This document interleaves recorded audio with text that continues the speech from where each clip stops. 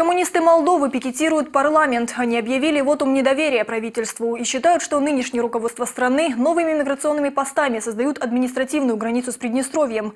Депутат парламента Молдовы Артур Решетников довольно резко высказал свою позицию на заседании парламента. Решение властей ставит под угрозу мир и спокойствие. Недавно конфликт в Приднестровье назвали замороженным. Так Лянка его разморозил и заминировал. Власти установили вторую Берлинскую стену на Днестре, заявил Решетников. Он также добавил, что Юрий Лянка окажется в черном списке народа, потому что решение властей об установке миграционных постов на границе с Приднестровской Молдавской Республикой было принято без консультаций с международным сообществом и с гражданским обществом страны. Депутат напомнил, что некоторые участники переговоров 5 плюс 2 уже высказали озабоченность в связи с односторонним решением Кишинева.